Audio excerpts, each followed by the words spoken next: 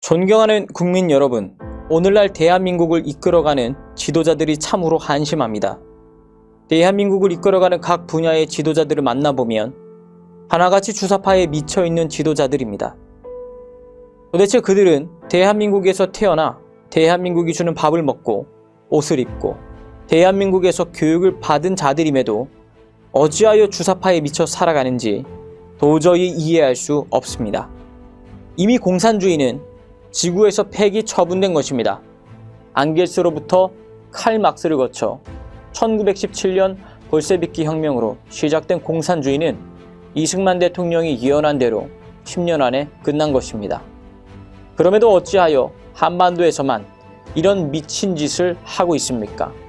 김일성이 공산주의를 각색하여 주체 사상이란 사상을 종교화했기 때문에 세계에서 다 무너진 공산주의가 북한과 한국의 주사파들에게는 지금도 존재하는 것입니다.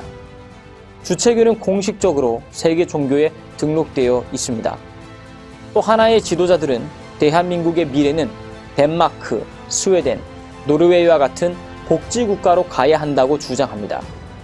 교수들이나 정치 지도자들이나 전문가들을 만나보면 한결같이 스칸디나 반도의 복지국가의 노래를 부릅니다. 그들은 복지국가 연구라는 명목으로 예산을 타서 너도 나도 몰려갑니다. 결국 그들이 가서 연구한 것은 세금을 더 걷어서 사회 안전망을 만들어야 된다고 하는 것입니다. 그러나 그들은 왜 덴마크, 스웨덴, 노르웨이, 스위스, 핀란드 등의 국가가 왜 복지 국가를 만들었고 그것을 계속 발전하였는지에 대한 근본 원인은 전혀 보지 못하고 있는 것입니다. 그들이 이상 국가를 만드는 것은 돈과 경제가 아니라 그들 밑에 흐르는 정신인 것을 전혀 보지 못합니다.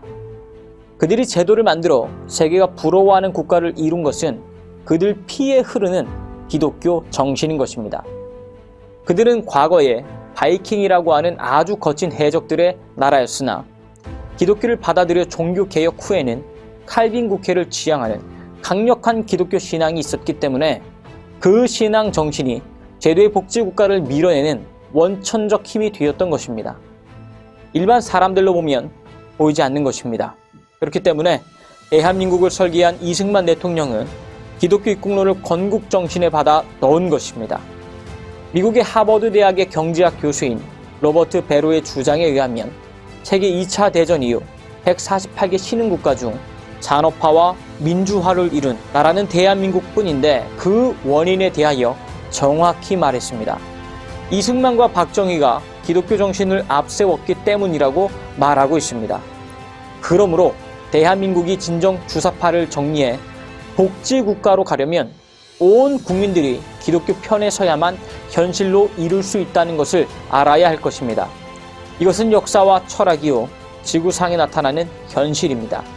존경하는 국민 여러분, 온 국민들이 신앙으로 돌아갑시다. 신앙 안에서도 인간들의 실수와 모순이 있지만 예수님의 복음의 본체는 완전 무결한 것입니다. 저는 기도하고 있습니다. 우리 조국 대한민국이 에덴 동산 이후로 가장 아름다운 나라가 되도록 기도하고 있습니다. 서울구치소에서 전광훈 목사 드림.